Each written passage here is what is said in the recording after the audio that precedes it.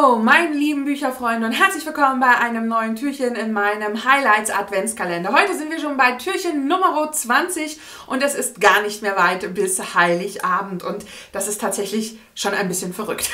Aber ja, was soll's. Ich möchte heute über Band 1 und 2 der Casadim-Reihe von Julia Dippel schwärmen. Eine Jugendbuch-High-Fantasy-Reihe, wo ich beim ersten Mal, als ich das echte Buch in der Hand hatte, dachte, nein, das ist ja so ein merkwürdiges, schräges Cover. Das Buch möchtest du dir auf keinen Fall als echtes Buch kaufen. Ich blende euch das erste Cover ein. Ich war wirklich so entsetzt über dieses erste Cover, dass ich dachte, nein, ich, ich lese das E-Book.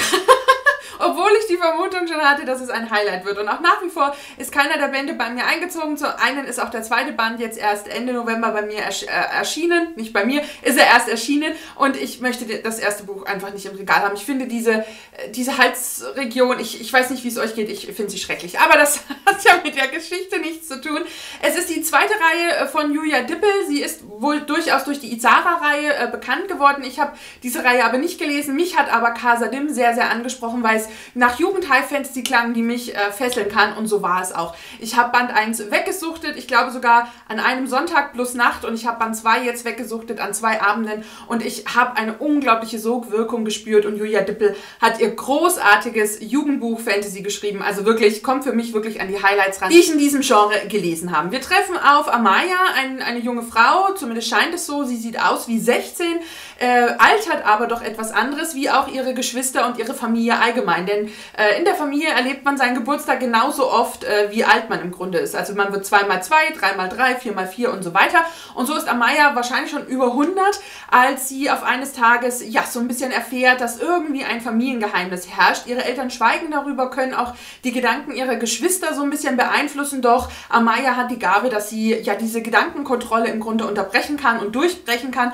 und so eben auch nichts vergisst oder ähnlichem. Eines Tages äh, nimmt ihr Vater aber einen Gefangenen, der dann bei ihnen äh, erstmal im Keller lebt und äh, ja, sie ist da so ein bisschen hin und her gerissen, ist natürlich neugierig, will wissen, was es damit auf sich hat, doch dann gibt es einen Angriff, einen Überfall auf das Haus, auf die Familie und der geheimnisvolle Fremde im Keller, sein Name ist Noah, äh, ja, rettet sie zusammen mit ihren Geschwistern und äh, geht mit ihnen in das äh, Kaiserkönigreich, äh, ja, Kasadim.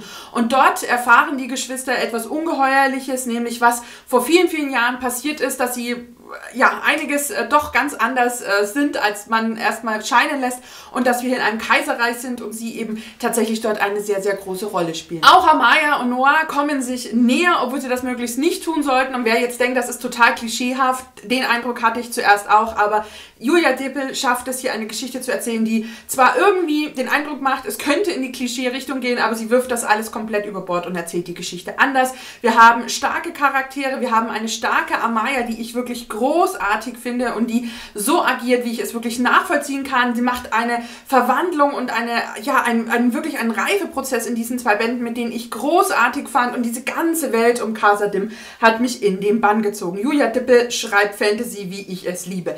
Wir haben hier hier eine neue Welt, wir haben verschiedene Reiche und wir durchreißen die und wir, wir haben das wirklich bildhaft vor Augen und Julia Dippe beschreibt es bildhaft, lebendig und farbenfroh und es läuft förmlich ein Film im Kopf ab. Es war einfach ein Genuss, das zu lesen. Zudem sorgen ihre Wendungen, ihre Ideen, auch die wirklich sehr äh, ja, innovativen Ideen, die in dieser Geschichte eine Rolle spielen, wirklich dafür, dass man dran bleibt, dass man eine Sogwirkung hat, dass man gar nicht mehr das Buch weglegen kann, dass man irgendwie zwei Stunden am Stück liest und sich danach fragt, huch, wie ist das das denn jetzt eigentlich passiert? Man überhaupt nicht mehr darüber nachdenkt, was um einen herum passiert, sondern wirklich in diesem Buch eingetaucht ist.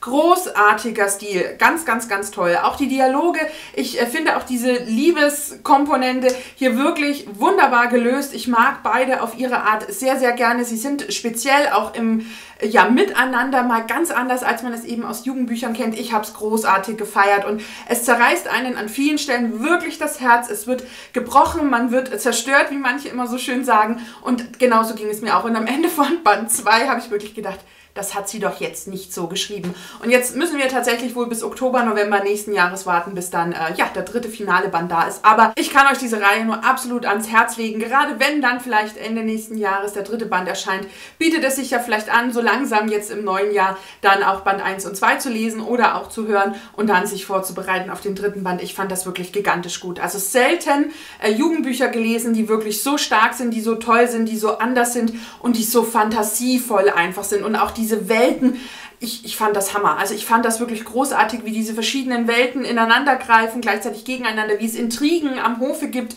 die man natürlich kennt. Und ich fand eben auch faszinierend Amaya als Charakter. Den fand ich wirklich ganz, ganz toll. Und Noah, ja, wessen Herz da nicht höher schlägt, ähm, ja, was soll man dazu sagen? Eine großartige Reihe, zumindest jetzt Band 1 und 2 und ich bin mega gespannt, was uns im Band 3 erwartet und hoffe, dass das Cover vielleicht so ein bisschen mich tatsächlich mehr anspricht als Band 1 und 2 und dann zieht vielleicht der dritte Band in echt irgendwie so stellvertretend dann irgendwie für die Reihe ein. Ja, bei den Covern ich bin, finde auch den zweiten Band tatsächlich nicht viel besser, aber er ist zumindest irgendwie, ja, aber zum Glück lese ich für E-Books und, und das war auf jeden Fall alles fein so. Und nun wünsche ich euch noch einen wunderbaren 20. Dezember. Ich wünsche euch einen ganz, ganz tollen Tag. Lasst es euch gut gehen. Ich danke euch fürs Zusehen und wir sehen uns beim nächsten Video. Macht's gut. Tschüss, eure Steffi.